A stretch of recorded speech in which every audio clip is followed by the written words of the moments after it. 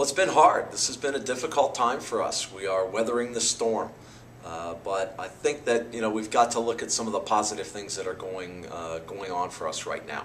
Uh, the kids are still training hard. They're still committed to it. Uh, we're having good practices. We're getting better every week.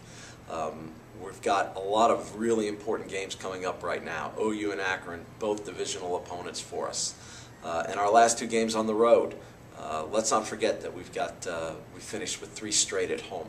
So I think we're very much in this. We're still in contention for the divisional title, and we're certainly still in it as far as getting into the tournament. So I'm optimistic about our chances, and I think the team will, re- will respond.